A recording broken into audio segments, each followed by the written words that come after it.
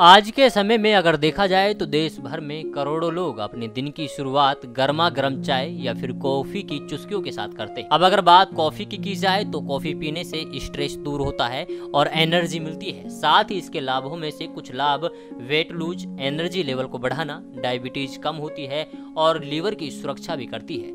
यही नहीं, ये हमारे इम्यून सिस्टम में सुधार करता है और कुछ प्रकार के कैंसर को रोकने में मदद भी करता है। इसके अलावा ये हमें हार्ट डिज़ीज़ से बचाता है। यानी, अब ऐसे में ये कहना गलत नहीं होगा कि ये स्वाद में जितनी अच्छी लगती है, उतनी ही ये हमारी हेल्थ के लिए भी फ़ायदेमंद होती है। आपकी जानकारी के लिए बता दें कि ब्रिटेन में हाल ही में हुए एक रिसर्च में सर्वाइकल कैंसर को बचाने में कॉफ़ी की भूमिका पर शोध किया गया। The world cancer research fund की रिपोर्ट में ये भी मिला है कि कॉफ़ी भी सर्वाइकल कैंसर के खतरे को कम कर सकती है। हालाँकि, शोधकर्ता कहते हैं कि अभी इस बात के कोई ठोस सबूत नहीं है, जिसके बल पर ये कहा जा सके कि कॉफ़ी पीने से ये खतरा कम हो सकता है। इसके अलावा आपको ये भी बता दें कि इम्पेरियल कॉलेज लंदन के शोधकर्ताओं का कहना है कि अगर महिलाएँ रोज आधा घंटा एक्सरसाइज करें और अपने वेट पर ध्यान दें तो ओवेरियन कैंसर का जोखिम कम किया जा सकता है। ओवेरियन कैंसर महिलाओं में होने वाले कैंसर में चौथा सबसे आम कैंसर है। दिन में तीन कप कॉफ़ी का सेवन लीवर कैंसर के खतरे को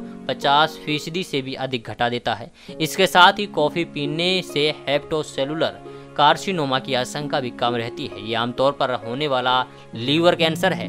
इसी के साथ ही आपको बताते चलें कि नेचर न्यूरोसाइंस नामक पत्रिका में प्रकाशित एक रिपोर्ट के अनुसार कॉफ़ी के सेवन से दिमागी क्षमता भी बढ़ जाती है। साथ ही आपकी याददाश्त बढ़ाने में भी सहायक है। दिमाग पर कॉफ़ी का असर पीने के 24 घंटे तक रहता है। नेशनल इंस्टीट्यूट ऑफ़ हेल्थ द्वारा किए गए शोध के अनुसार कॉफ़ी का सेवन करने वाले लोग अन्य लोगों की तुलना में अधिक खुश रहते हैं। इस शोध के अनुसार, जो लोग रेगुलर चार कप या अधिक कप पीते हैं, यानी कि कॉफ़ी का ज़्यादा सेवन करते हैं, वो अन्य लोगों की तुलना में 10 प्रतिशत अधिक खुश रहते हैं। कैफीन स्ट्रेस दूर कर खुश रखने में आपको बहुत ज़्यादा मदद करता है।